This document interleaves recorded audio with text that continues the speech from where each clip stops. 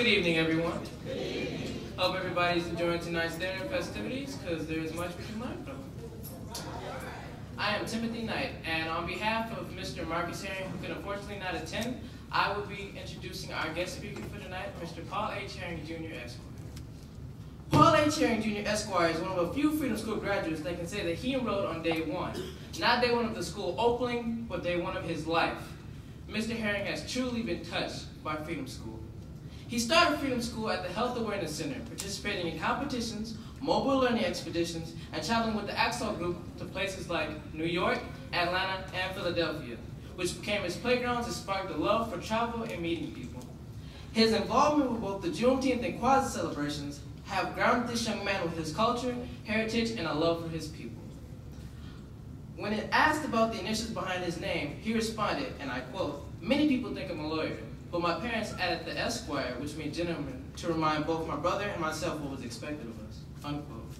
A 3.8 student and one of the Urban League's black scholars, Paul has attended International Academy of Flint since it opened and is a part of the first class of 2012 graduates to have attended the school since kindergarten. He also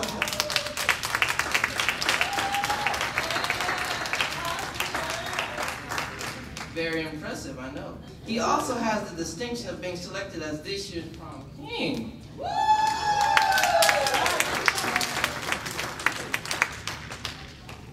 Multi-talented. Paul started a movie. Mm, okay, a YouTube clip.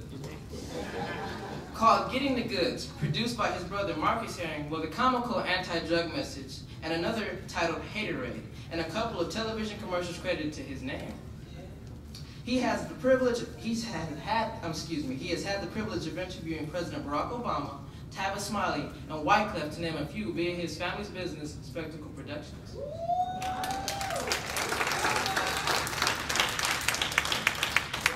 Selected as one of the three students chosen to travel 10 days to England for an international youth summit, Mr. Herring's comments on the experience were enlightening. Quote, so many people to enjoy, such little time to enjoy meeting them, unquote. He said, adding, quote, I am from Flint and had to go to London to experience a riot, unquote. Between track, school, his venturing shoot, and Xbox, Mr. Herring has been an active scout for years and will be receiving his Eagle Scout status before the summer ends.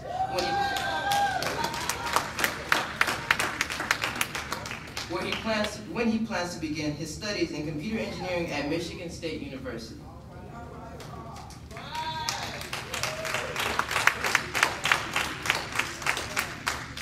I had to sum up all of Mr. Herring's activities thus far into one word, one very articulate word, it would be wow. Ladies and gentlemen, our guest speaker for this evening, Mr. Paul H. Herring, Jr. Esquire.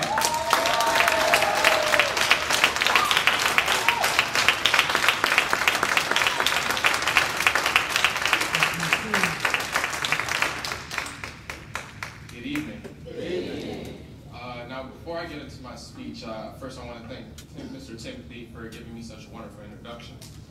Uh, and I'd also uh, just kind of like to reflect, like uh, reflect to you guys for a second.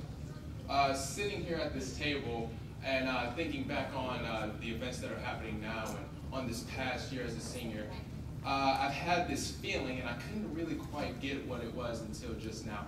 And, I, and, and the feeling is awkwardness, but I mean awkwardness in the most, in the best way possible.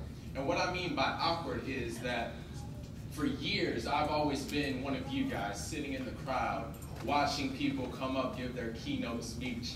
And this year, among uh, all years, I'm up here giving the speech myself and standing in front of all you guys. And I'm kind of anxious, I'm kind of nervous, but I'm going to work through it. And uh, hopefully, you guys uh, take to heart what I have to say to you guys.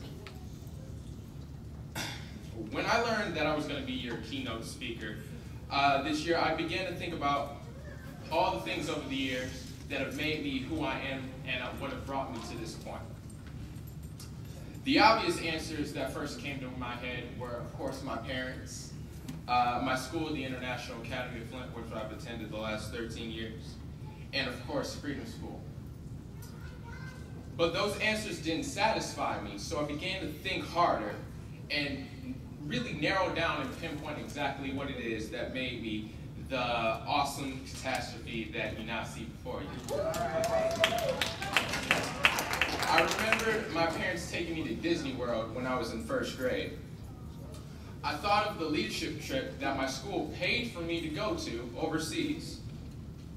And I recalled the trip uh, to Africa that Freedom School took, but that I was unfortunately too young to take at the time. Thinking back on all these things, it dawned on me that the thing that's helped me be me, the thing that shaped me to be the person that has been given the honor to speak to you guys tonight, is travel. Travel is the cure to ignorance. It's the pathway to knowledge, and it's the gatekeeper of understanding and acceptance. At least in my opinion. When I was too young to uh, go to Africa, I was kind of upset. I was a little bummed out.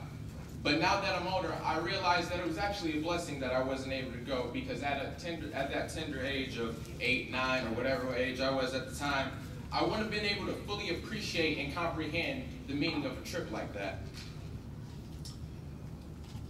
But life has a funny way of replacing missed opportunities. Uh, I briefly talked about earlier me traveling overseas uh, with my school, but in order for me to talk about that trip, I want to first talk about my school and an organization that helped me do it. Uh, my school and its, or, and its origins is based upon an international company called SABIS. SABIS has schools around the world. And within, and the unique thing that SABIS schools do is called uh, a student life. Student Life uses its is a unique program that uses its students to change the school. Not its teachers, not its principals, but the students using their talents and their ideas to help create a better atmosphere for for its uh, for students. Uh, my bad. And this year, well, this past, uh, not this school year, but the year uh, previous, I was selected among three students out of my entire high school, along with my brother who could not be here tonight, to go on a leadership course to Bath, England.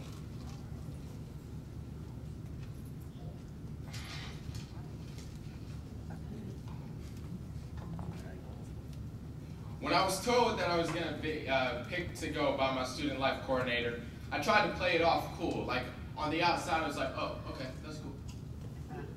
But on the inside, I was like, yeah! Woo! And, and I was just so happy.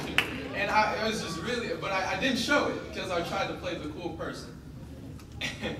but uh, as I started to get down and calm down from that excitement, I realized that this was my trip to Africa that I missed out on when I was younger. Now, the leaderships they taught us overseas, they, they were useful.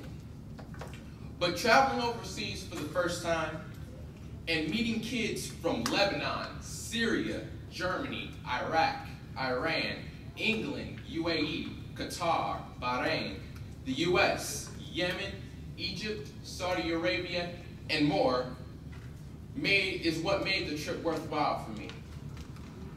Being able to meet kids from all over the world, from all around the world, from different walks of life, and yet still having common ground between all of us was mind-blowing for me. But what was even more mind-blowing were the differences. Like how my friend Ruba from Saudi Arabia didn't wear a full-body veil like you see see in uh, public media, but instead wore westernized clothes. And how my friend Nihar from Iraq didn't have a bomb strapped to his chest trying to kill me just because I was American. Social media destroys everything nowadays to the point where you don't know, really know that there are American-loving Iraqis or that there are westernized women in Saudi Arabia. And these are just the social differences. The only way to find out things like these and to help free yourselves of the chains of racism and ignorance is through travel. It doesn't even have to be as far away as England. You can take a road trip to Canada, or even just go down the street to Detroit or something like that. So that is why I strongly encourage any, uh, any strongly encourage everybody that if ever the opportunity presents itself, to seize it, but with open arms, so that way you miss nothing. I'm going to leave you guys with a quote from Gandhi, and then I'm going to be done. His quote says, Be the change you wish to see in the world. And it's my favorite quote by him. And I'm a firm believer in his quote. But in order to truly grasp the meaning of what Gandhi has to say, I, I firmly believe that you cannot change the world without first experiencing it yourself. Thank you guys for your time.